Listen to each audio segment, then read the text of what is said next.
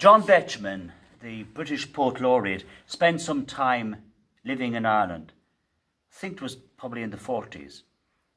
And he, he wrote a number of poems about Ireland, about Irish people.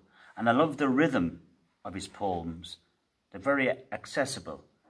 They're very descriptive. They're frankly very enjoyable. This is called Ireland with Emily. Bells are booming down the Boreens, white the mist along the grass. Now the Julias, the Maeves and the Maureens move between the fields to mass.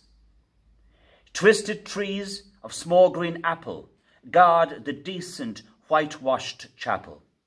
Gilded gates and doorways grained, pointed windows richly stained with many-coloured Munich glass.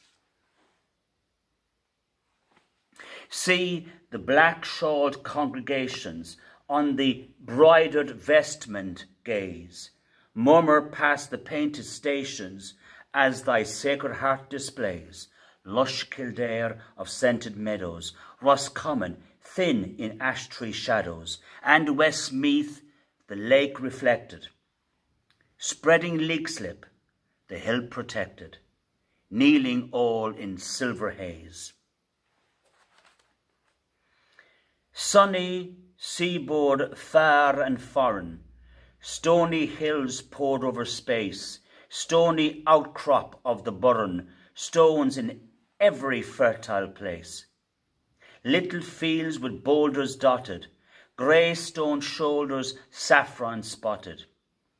Stone-walled cabins thatched with reeds, where a Stone Age people breeds, the last of Europe Stone Age race. Has it held, this warm June weather, draining shallow sea pools dry, when we bicycled together down the Boreens, fuchsia high, till there arose, abrupt but lonely, a ruined abbey, chancel only, lichen crusted, time befriended, soared the arches, splayed and splendid, Romanesque against the sky. There, in pinnacled protection, one extinguished family awaits a Church of Ireland resurrection by the broken, rusty gates. Sheep's wool, straw, and droppings cover graves of spinster, rake, and lover, whose fantastic mausoleum sings its own sea-blown Te Deum in and out the slipping slates. Ireland with Emily by John Betjeman, part of our shared history.